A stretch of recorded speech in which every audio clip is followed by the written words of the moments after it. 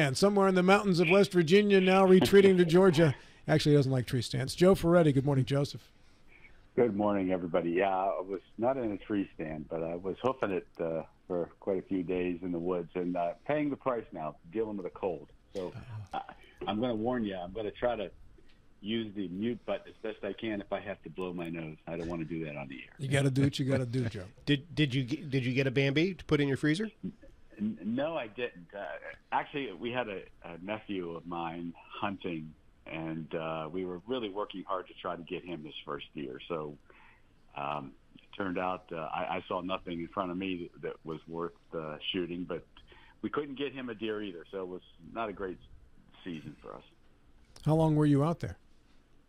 I did uh, two days in West Virginia, and then I packed up and headed to uh, north central Pennsylvania and enjoyed their first day and second day of buck season up there. So, quite a trip. And along that drive, which was what about four hours?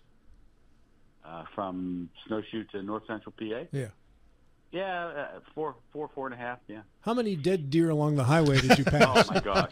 Yeah, yeah. There's, uh, y- you see, we call them grease spots. they're all along the highway. Uh, the states do a good job of picking the deer up, of course, because they're testing for that chronic wasting disease. So they want to pick up as many carcasses as they can to test them.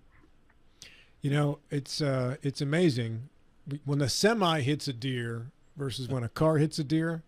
Like the explosion on the highway, if you're not long after, is just epic. Like, oh my goodness! Yeah, it's, it's kind of sickening in Oh. a way. Uh, Yeah. I think West Virginia has uh, the distinction of being maybe the worst state in the country for deer car collisions. Yeah, this this area, West Virginia, Maryland, Pennsylvania, those three states this time of the year, body shops, baby, body shops. Joe, let's talk presidential pardons, and this came back in the news obviously recently when President Joe Biden decided that he would do what I think most of us thought he was going to do anyway, and that was pardoning his son Hunter. And there were two different charges, uh, as I understand it, uh, uh, for which Hunter has been pardoned, Joe. And if there's more than that, maybe you can get into some detail on that as well. And my understanding also is the time frame was specific for uh, potential crimes or violations that took place between 2014 and 2024. Do I have that accurate as well? Yeah, there's a couple things to unpack there, Rob. Uh, the, the two crimes, uh, specific crimes for which he was pardoned, had to do with the tax evasion and uh, not reporting income, to, and and then lying on tax returns, and also then lying on that application for a gun. Uh, he was in drug rehabilitation at the time he applied for the gun permit, yet did not indicate that on his form. So those were the the two specific crimes for which he was pardoned. But uh, what is really causing some controversy is the, the breadth and scope of the pardon.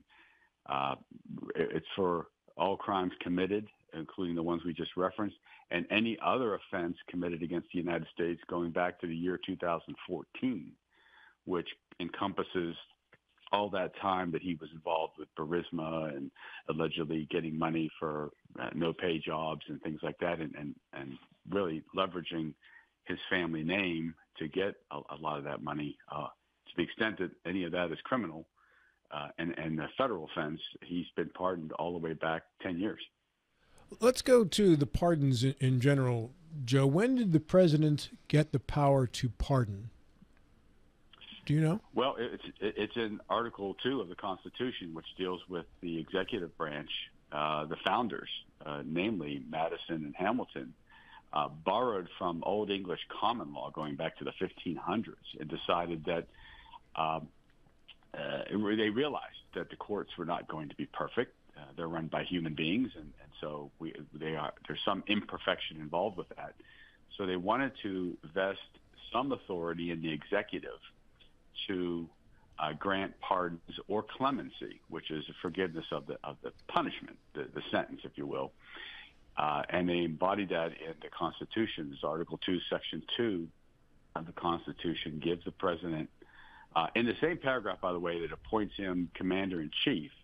It concludes in that paragraph by saying that he shall have the power, he or she, I should say now, have the power to pardon and um, and grant clemency in all matters against all offenses against the United States, except for matters of impeachment. There's a specific carve out there that a president cannot pardon someone who's been impeached from a federal office.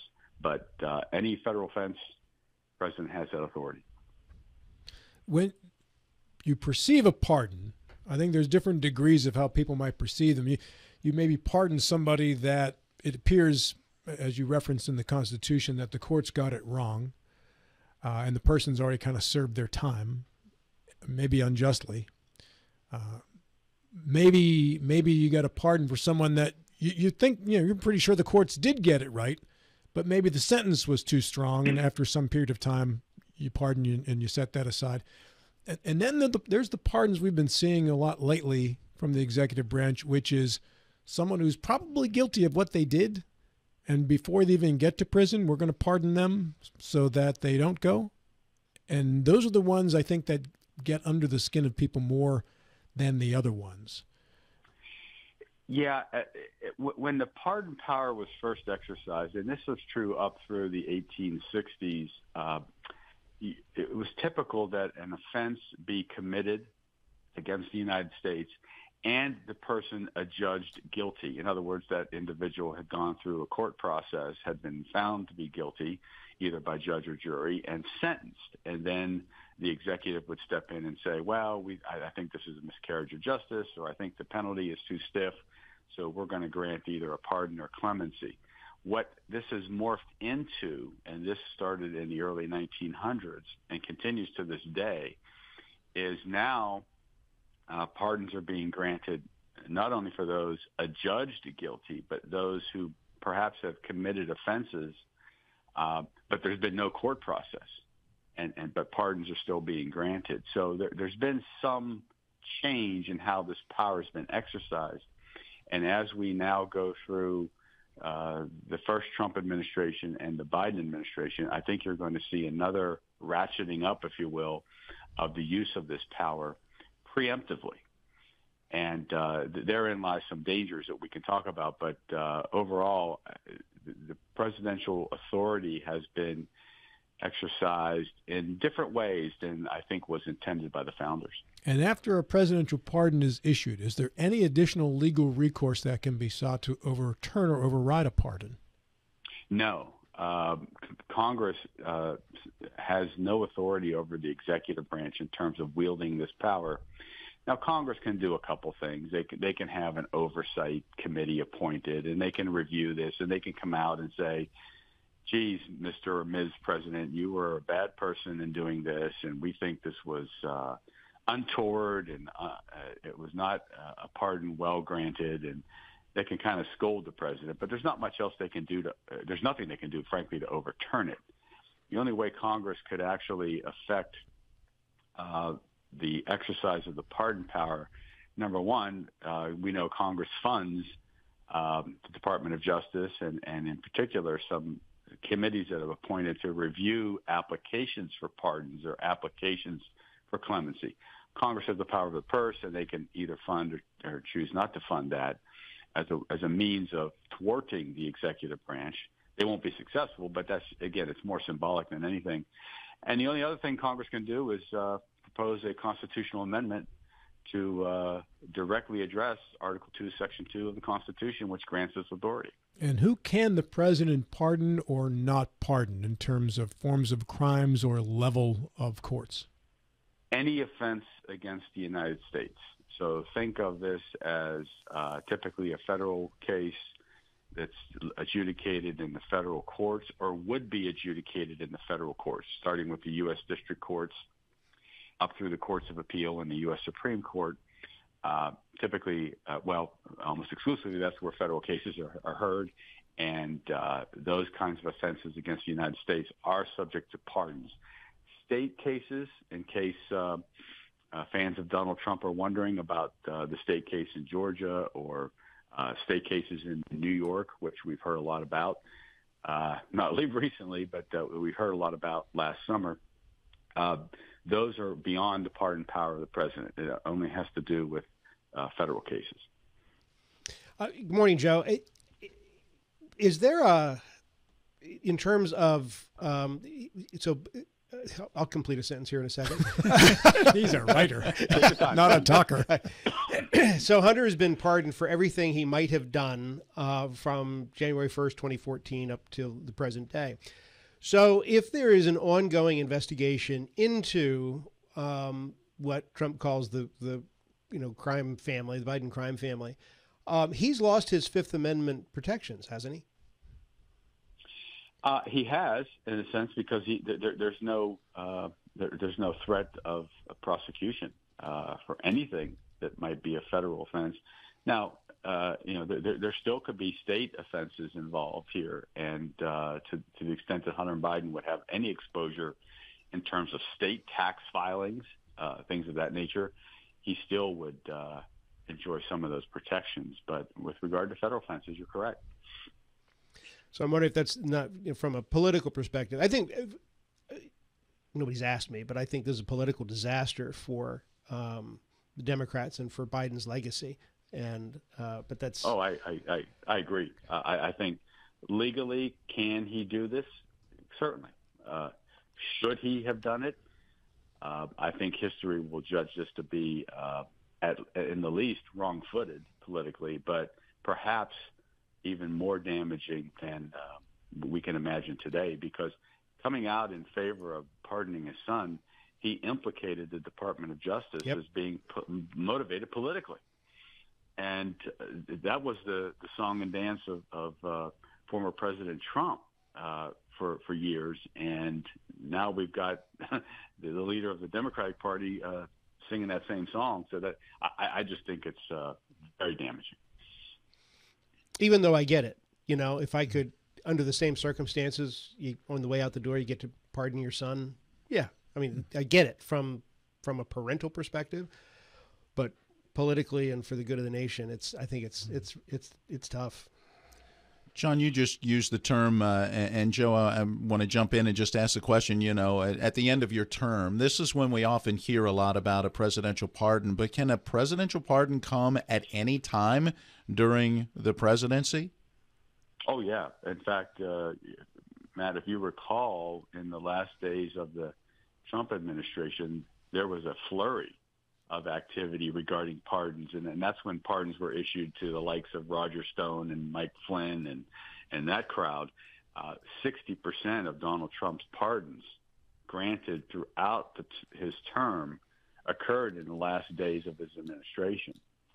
Uh, and, and that's one of the things uh, that uh, you know George W. Bush pointed this out when he was walking out the door. Uh, he didn't think the pardon process was working very well and uh, propose some reforms to that. And uh, I, I don't know how you reform it because, again, con- Congress has no authority over this. Uh, it would have to be uh, something that the president, on his own volition, uh, would want to do, and, and I just don't see that happening. Thank you for answering my next question because I wrote down um, you mentioned earlier it's been changed in how it's been used. So, how do we put the cat back in the bag? And you're saying there may not be a way.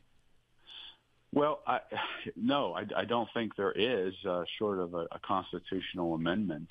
Uh, you know, there could be. Look, there, there's going to be an outcry when, uh, if Donald Trump follows through on his promises to pardon these January 6th folks who uh, were tried and convicted. Uh, there's going to be another outcry uh, that occurs, and um, I, I don't know at, at what point that becomes politically damaging to uh, a lame duck president, such as uh, what Donald Trump will be in his last term. But there there are inherent dangers that lurk here with regard to this pardon power, because uh, remember I talked about how this has morphed into uh, there's a um, anticipatory aspect to all this that uh, Hunter Biden may have committed crimes going back to 2014, and he's now suddenly pardoned what would uh, stop a president from coming into uh, a new administration armed with the criminal immunity that, that he or she enjoys themselves due to the Supreme Court decision?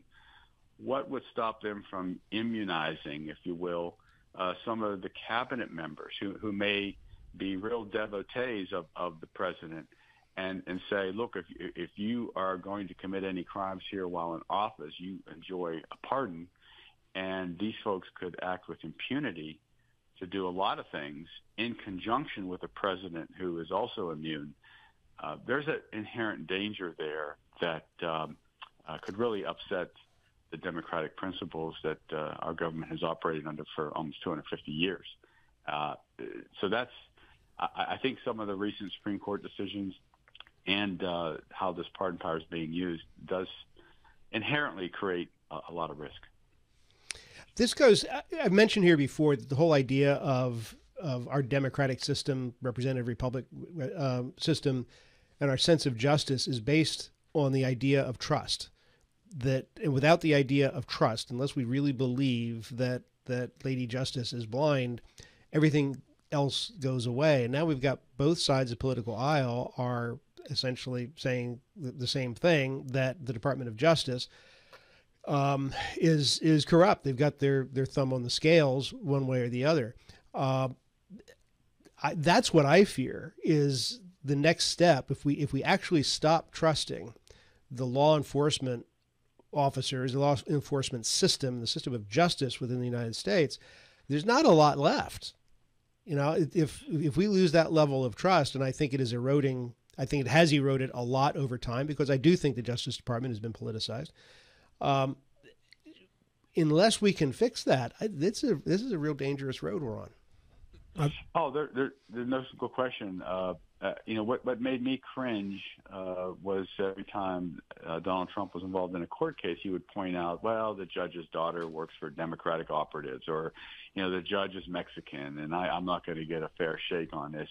And that has continued now, and has now been further supported by this latest action by President Biden. So yeah, it's coming from both sides of the aisle, and it's equally damaging and cringeworthy to me because, you know, I still believe in the in the civil and criminal justice system, and I believe that there are able people in there who try to do right by the Constitution and by notions of fair play, and to, to have these pardons exercised in a way that uh, it, it essentially, for someone like Hunter, Biden, becomes a get out of jail free card that can be used at any time um, they're just something uh, that's a, an anathema to to what, what we believe to be a, a bedrock of our of our country. But it's more pernicious than that too, in the sense that we have it's it's baked into the cake with the media as well. There'll be a decision that comes down, and the first thing we hear is that it was a Trump appointed judge or it was an Obama appointed yes. judge, and the presumption is that that the judges have their thumb on the scales, that they are not in fact blind to to, to matters. Yeah, of, and all I can do, John, to say is that in my personal and professional experience dealing with judges who were elected, who had uh, affiliations with political parties, and dealing and knowing people in the Department of Justice, uh, these folks, by and large, try to do right. Uh, they try they, they take their oath seriously to the state and federal constitution, uh, and they try to apply the law equally and fairly to all.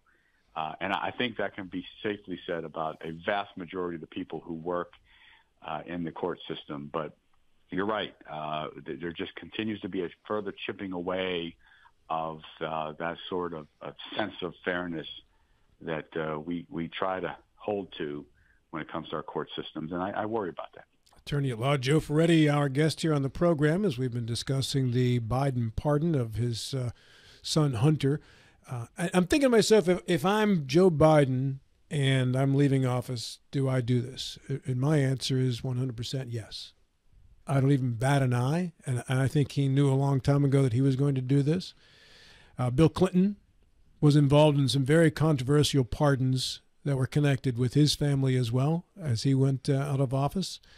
Um, there was uh, pardons issued by Donald Trump that included his what was it the the father of his I, I guess there was a, Mr. Kushner whatever yeah Kushner whatever his yeah Charles Kushner yeah, yeah. there was a re, uh, there was a relationship there soon to be ambassador to France yes and he's he's about to be appointed somewhere so the the pardons in regards to the justice system really are I don't know that they're necessarily based on a political thought so much of it is as a belief if you believe that the person that you're pardoning was unjustly targeted or accused then you're you're going to pardon that person if you have the power to do it. It would seem, and if that person Well, is your child, you, it's probably a slam dunk. I mean, if I got a chance to pardon my son from going to jail and I'm the president on my way out, and I'm 82 or 83 years old, whoever old Biden is, this is not even something I need to discuss.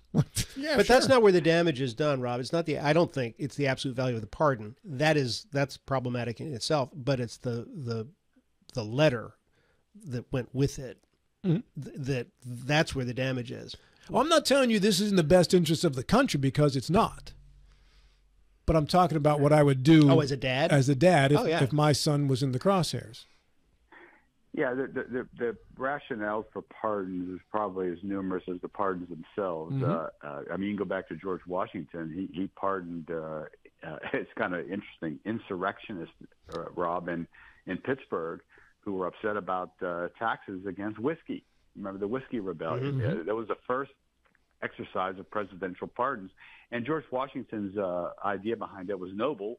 He wanted to show the country, the, the, the fledgling country, that the federal authority was going to be paramount. And if there was going to be a tax on whiskey, by God, you were going to pay it. And he sent 13,000 troops to Pittsburgh to enforce that notion.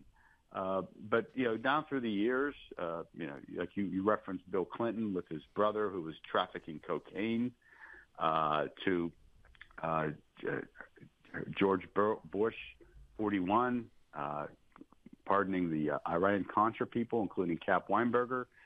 Um, you know, there- there's been uh, Jefferson Davis was pardoned uh, for his part in the uh, in the Civil War. So uh, there's been a lot of controversy over the, the centuries about pardons, and I, I don't think the, uh, this one's going to be any different. It'll be left to the history books to judge uh, whether it was right or wrong. And my fear is that it's going to be uh, a further erosion of the public trust in our court system.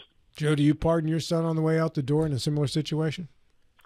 Uh, I would be hard pressed not to, especially because the man taking office has, has made it very clear on the stump speeches that he gave for the last two years that uh, you know he he is everybody's retribution, and and I think there would be a fear that he would come after uh, Hunter Biden uh, for other things, um, and uh, he's installing people in the FBI and other places that are inclined to do his bidding. So I, I think that fear would be would be paramount.